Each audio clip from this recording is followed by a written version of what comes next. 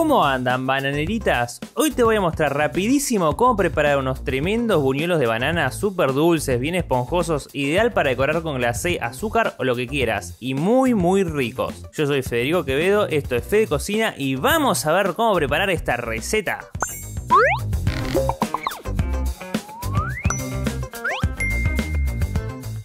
Arrancamos en un bol y empezamos pelando las bananas de la receta.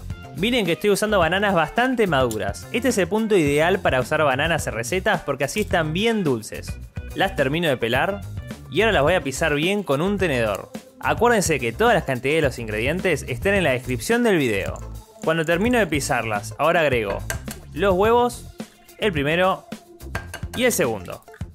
Lo empiezo a integrar un poco, agrego el azúcar, seguimos un poco más, la leche y ahora van los ingredientes secos.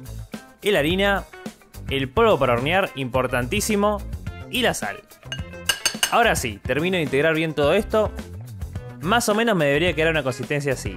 Si lo ven mucho más seco, le agrega más leche y si lo ven mucho más líquido, le agrega más harina. Me llevo todo esto, pero antes que casi casi me olvido, agrego nuez moscada. Yo voy a rallar una en el momento, porque esto aporta mucho mejor aroma y sabor que esas que ya vienen molidas. Y ahora sí, lo termino de integrar y ya nos movemos una hornalla. Prendo el fuego y pongo una ollita con aceite para freír. Espero que se caliente y con dos cucharas voy a ir agregando masa y echándola en el aceite.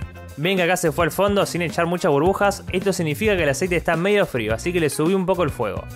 Agrego 3 o 4 buñuelitos más, espero que se frían, cuando ya estén un poco tostados los voy a ir dando vuelta y cuando ya los tengo bien cocinados de los dos lados, los voy sacando y los voy poniendo en un papel absorbente para absorber el exceso de aceite.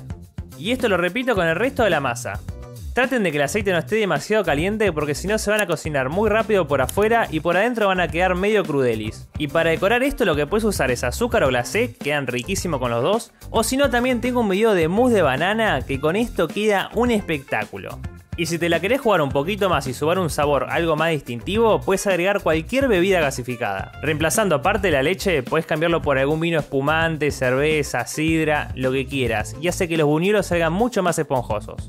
Y listo, cuando terminás con todos, lo dejas que se enfríen un poco y ya están listos para comer. Si querés receta de buñuelos de algún sabor en particular, pedímelo en los comentarios. Y si te sirvió el video, por favor dale like y suscríbete al canal. Nos vemos en la próxima receta.